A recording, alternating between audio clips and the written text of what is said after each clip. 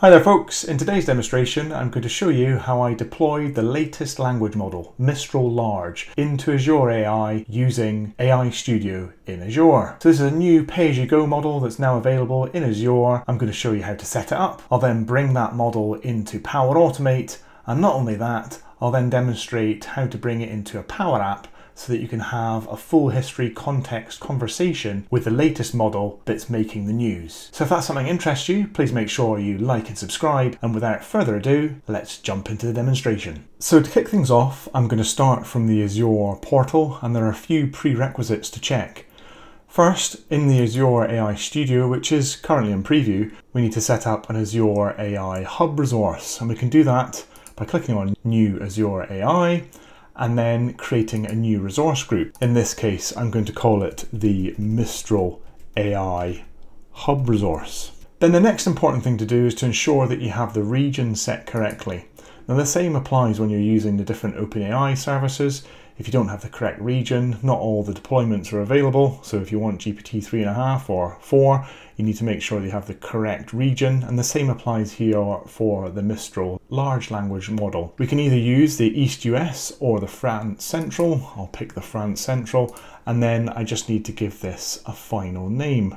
So we'll call this the Mistral large language model. Now there are other resources that we can review, but I'm going to go straight into review and create, and we will create our AI hub resource. And as long as we don't receive any errors, we're then able to proceed on to the deployment of our Mistral large language model. Now, whilst I was testing this out, I actually had problems with the deployment here in that I didn't have a pay-as-you-go subscription with a credit card. And so I actually got a failure come up so if you do get a failure about payment, make sure you have a default credit card associated to your subscription. So with the deployment now complete, we can go to the resource and it's from here that we can launch the Azure AI Studio. Here we need to go and create a new AI project. And whilst there's a name already provided, I'm going to again call this the Mistral Large LM project and go ahead and create that project. With the project now in place, we can go to deployments and we can create an, a pay-as-you-go instance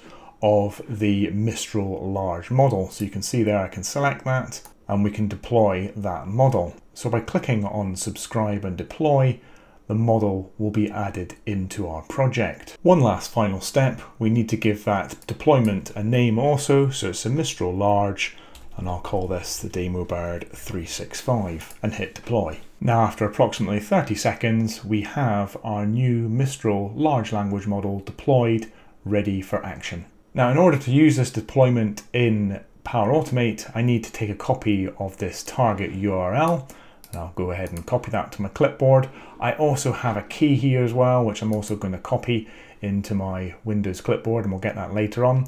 And then I'm going to go and jump into the playground. So very much like in the playground for OpenAI in Azure, there is a playground also for the Mistral model. On the right hand side, I can see the parameters, which we're familiar with, with the maximum tokens, temperature, top P, and also safe prompt.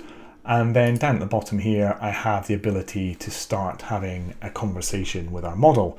So for instance, I could ask, who is the current Prime Minister of the UK, and we'll get a feel for the training data that the Mistral model has and at the moment it believes that it's Boris Johnson. So it'd be safe to say that the model was probably trained up to 2022. So next up, let's see how we can bring this model into Power Automate. So jumping over into Power Automate, I have a manually triggered flow. I'm going to add in an input here, which is going to be my user request.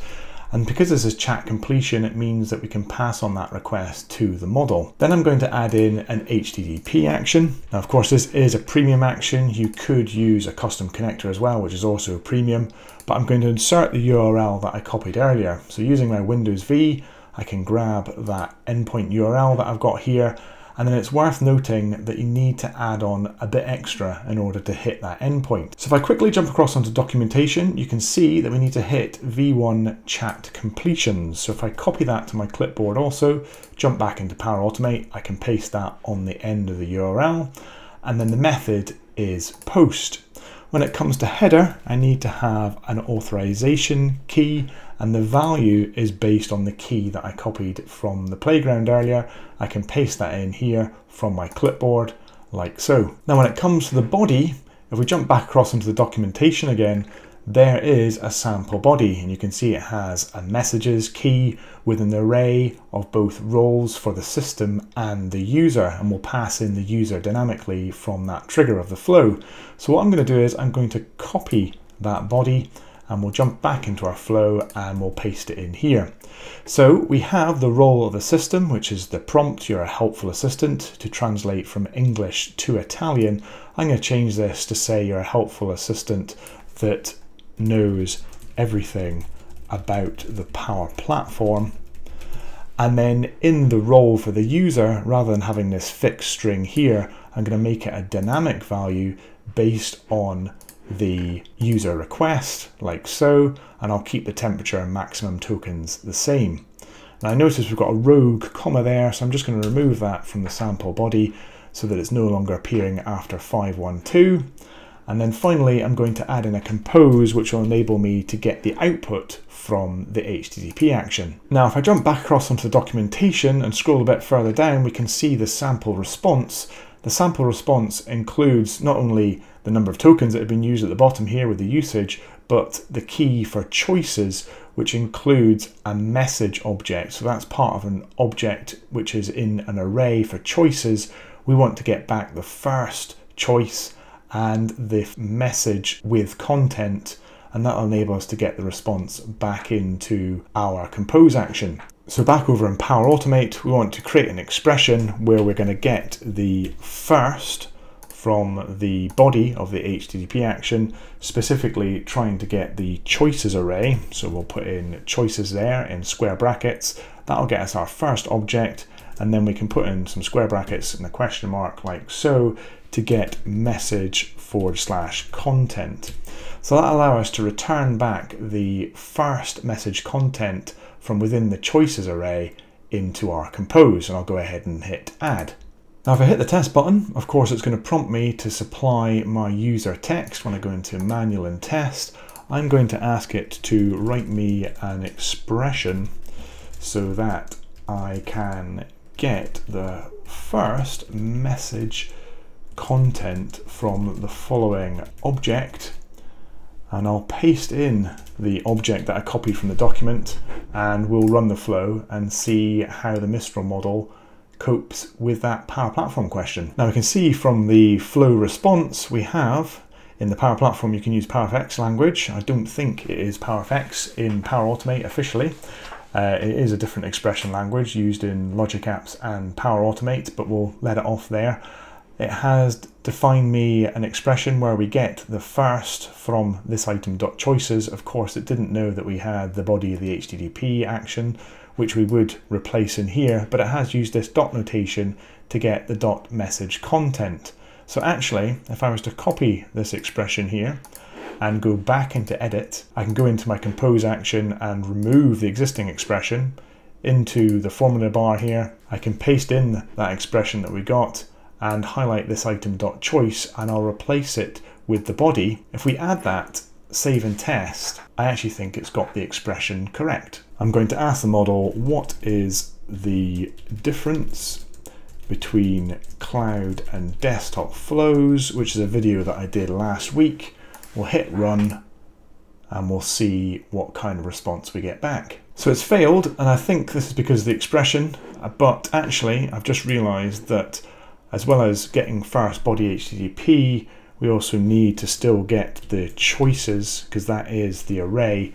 I'm going to update this and test it on the original request. And so I'll select the automatic with a recently used trigger, hit test, and it has. We've got a nice explanation here of what a cloud flow is and also what a desktop flow is in fact referencing RPA, which is one of the confusions I've tried to expel in my most recent video. So not only did this model give me quite a useful expression with a slightly different notation, it also has been able to use the natural language to respond to my request for an explanation of what cloud and desktop flows are. Now, if we pop open the HTTP action, what we'll see in the body is our role for the system and the user.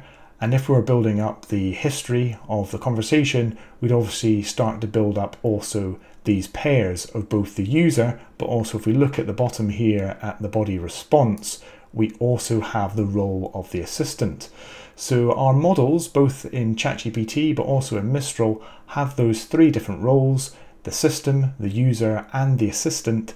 And if we want to build up that history context over time, we actually need to resubmit those pairs back to the model. So I have got a solution where I built that via a Power App where I send back the ongoing pairs so that the model has the history context of the conversation. And so I thought I'd show you a very quick demo of that in action. And if there's sufficient interest, I can maybe explain how that flow is built if you let me know in the comments below. So over on my Power App, I'm going to do a very quick demonstration. This Canvas app has a text input, it also has a gallery. So the text input allows me to ask a question, the gallery enables me to display the questions and answers as pairs, from a collection where the information from the flow is being saved. And of course, when you hit the Ask button, we're actually calling a flow that calls the Mistral API with the history and the context of that conversation, enabling us to see the history context back from the Mistral API. So if I put the Power App into play mode, I can ask a question like, where is Aberdeen and hit enter. And this is calling a flow, which is then in turn calling the Mistral API. And you can see we get a description of where Aberdeen is. And I, if I was to ask how far is it to Edinburgh. I haven't specifically called out Aberdeen at this point, and because I'm sending back pairs for both the user and the assistant, we're getting the history context, and you can see that the model has identified that the distance between Aberdeen and Edinburgh is approximately 125 miles. If I was to ask where is the nearest city to both of them, again we'll have the history of the fact that I've asked about Aberdeen and Edinburgh and the Mistral model should hopefully identify some near cities to both of Aberdeen and Edinburgh. And so Dundee is smack bang in the middle of the two cities. If I jump across onto my flow and do a quick refresh, we should be able to see several runs, the first of which here at 342 should have just the single pair with my first question about Aberdeen. So if we pop open the history, we can see that the question here is where is Aberdeen and the full dialogue is empty. If I jump back, we can have a look at the flow run after that and again pop open the input. So not only do we have the question, how far is it to Edinburgh, we also have the full dialogue which you can see is an array and it includes the role of the system which is about being uh, an internal chatbot, but we also have the pair for the user, which is where is Aberdeen, and we also have the role for the assistant. And so what's happening is between the flow and the Power App, we're building up the history and the full dialogue, which enables the language model to understand the history context. So after each run, we're actually submitting the full data of the history of that conversation to our model. If I jump back once more, we can have a look at the last run of the flow. Again, look at the trigger. Where is the nearest city to both of them? This will of course contain all the information about the role of the assistant and also the user. But if I go into the scope and show you how some of that flow works, we have the system prompt, which is the default prompt if no question history is there previously. We have the system array, which shows us the structure of the system and the content. I've then got the user array, which is the nearest city to both of them, which was the last question that I asked. And then uh, between the next few actions, I've got some logic to determine is this a brand new question, i.e., do we just tag on the system, or is it a historic, in which case we need to have all of those pairs, as we can see here, and we send that across to the language model. So if I was to go and jump down and have a look at the response, we can see the original question, the generated answer, but also the dialogue history, which is that array that contains all the pairs for the system, the user, and the assistant. And by passing all that information across on each turn, we're able to maintain that history context within our language model, whether that's ChatGPT or the new Mistral language model that I've today installed in Azure.